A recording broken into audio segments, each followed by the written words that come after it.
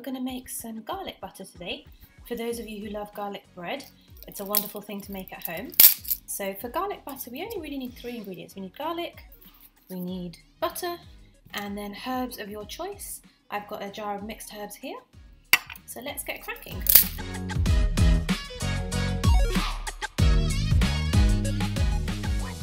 First is open up the cloves of garlic and we're going to be doing three of these depending on how much butter you need to make.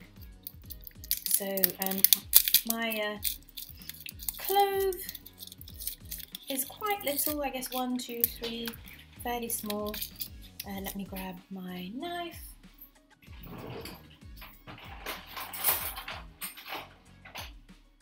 I'm sure some of you know the trick of where you smash down the clove, it makes that lovely noise.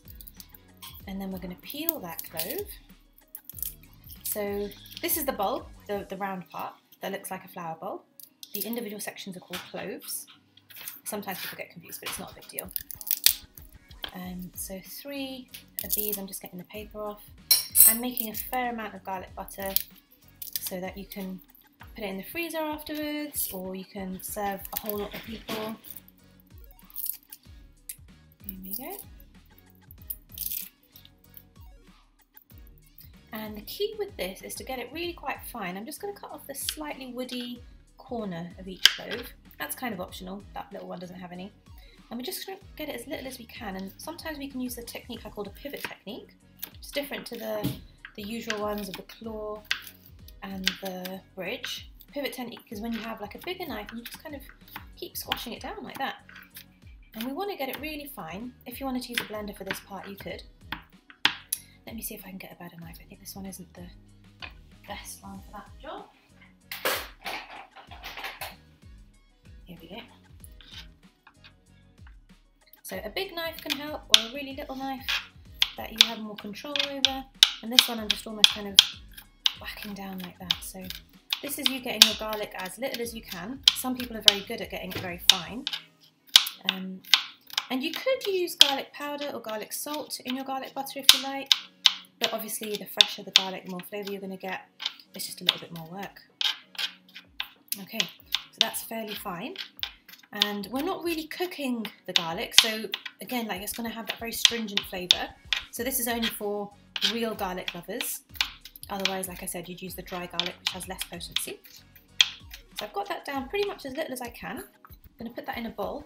a microwave safe bowl, actually, because we're going to put that in the microwave to get it into a spreadable consistency. That's roughly three cloves of garlic there.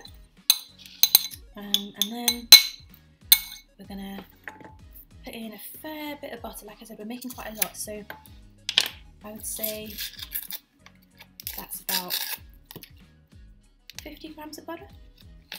Putting that on top. And then a dash of any herb that you like. Uh, traditionally, it would be something like basil or rosemary or oregano.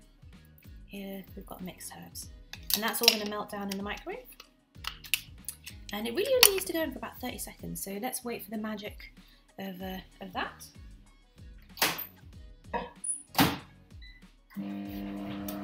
I hope that's not too loud and that you can hear me even though the microwave is going.